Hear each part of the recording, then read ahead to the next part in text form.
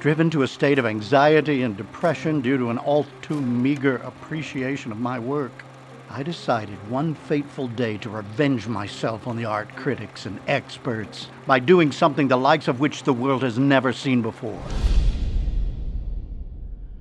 Though his revenge proved arduous, its very challenge seemed to feed Van Meegeren's meticulous psyche.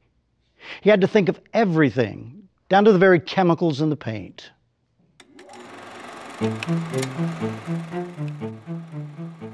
First, he purchased authentic 17th century canvases and brushes made of badger hair. He then mixed his paints using old 17th century formulas. To further mimic the aging process, he baked the paintings and then rolled them over a cylinder to create craquelure and washed them with black India ink to fill in the cracks. He also developed a finish made from an early plastic called Bakelite.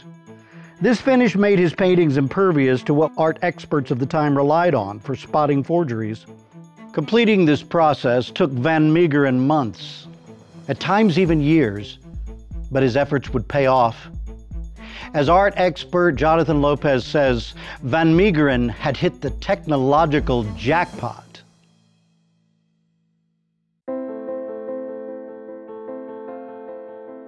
Although Van Meegeren faked many different artists, his Vermeer forgeries would prove the most lucrative. German art expert Max Friedlander said, Art dealers of the 1920s lulled themselves to sleep at night dreaming about Vermeer. And Jonathan Lopez writes that discovering any picture that might be accepted as a Vermeer was the interwar art world's equivalent of the quest for the Holy Grail.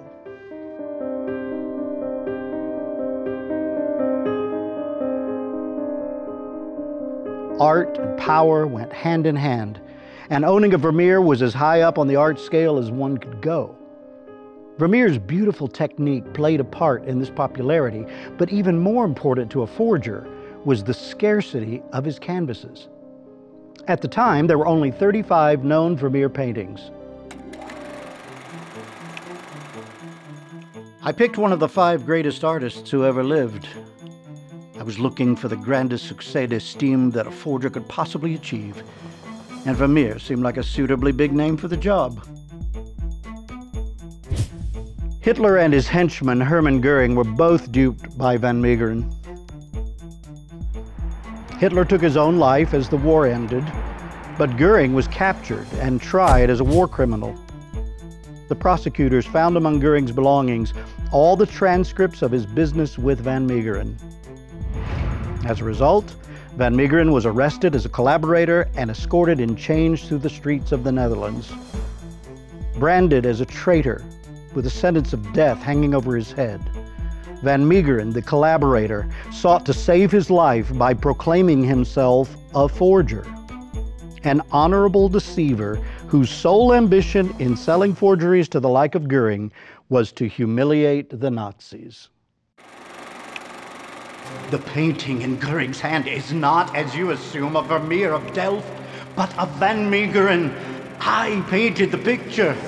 At first, no one believed him, but he persuaded his captors to provide him with supplies and a room. For the next five months, in front of witnesses, he painted his last forgery. By the time the final gavel came down on the trial, Van Meegeren had been transformed from a traitor into a national hero. The death sentence was overturned. He was charged as a forger and sentenced to one year in prison. Ironically, he died before serving his sentence, sealing the success of his final con.